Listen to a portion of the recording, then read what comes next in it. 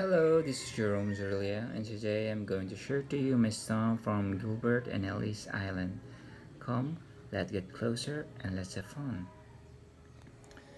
So basically, this is a British territory in the Pacific Ocean and is well known for its phosphate mining.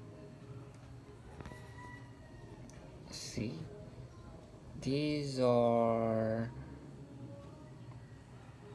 this King George? I think it is. The father of Queen Elizabeth. Crazy, right? I really like this bird. It's located in the Pacific. And this is a tree.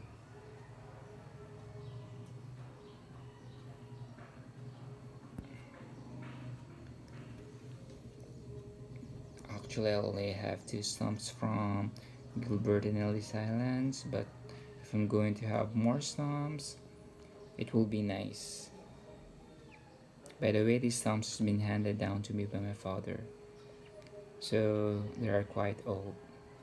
Okay, bye for now.